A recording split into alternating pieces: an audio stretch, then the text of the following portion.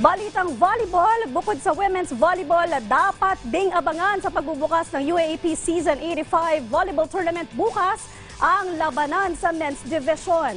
Isa sa mga teams na excited ng pumalo ang defending champion NU Bulldogs. Ang kanilang paghahanda at kung sino ang kupunan na kanilang maiging babantayan, alamin sa ulat ni Kia Asuncion. Wala nang sinasayang na panahon ng National University Bulldogs para makuha muli ang korona sa UAAP Men's Volleyball Competition na magsisimula na bukas. Bagamat lahat ng kupunan ay magbibigay ng challenge para sa kanila, aminado ang NU na ang University of Santo Tomas ang kanilang magiging top contender.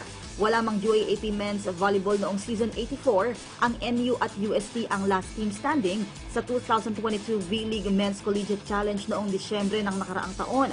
Nakuha rito ng Bulldogs ang championship sa loob ng tatlong sets.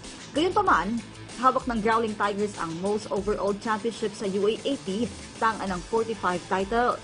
Ah, syempre, main goal namin, makuha ulit namin yung title. Kasi yun naman talaga yung ano, purpose namin na sumasali kami sa mga liga and mas maging ano, mas maging mature sila sa loob ng court and kung ano man yung magiging ah, sitwasyon namin pagdating ng UAPs, makapag-adjust kami lagi.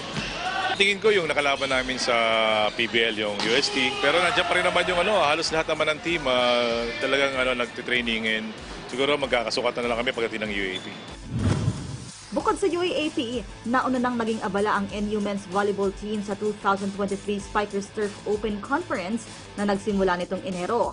Pero para maulit ang kanilang UAAP 2019 feat, focus muna ang three-time best setter awardee na si Ave Joshua Ratamar at two-time MVP title holder Angelo Almendras sa UAAP.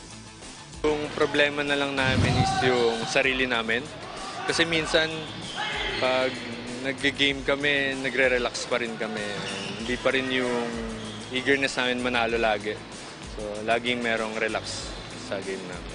paghahanda namin is pa doble kayod ba para makuha ulit yung championship. May nakuha kaming experience sa national team. ah, madadala namin dito sa mga teammates namin. Unang makalalaban ng NU ang Ateneo de Manila University dakong alas 4 ng hapon pagkatapos ng harapan ng Adamson University at University of the East ng alas 10 ng umaga. Parehong gaganapin ang kanilang laban sa Mall of Asia Arena. Kay Asuncion, PTV Sports.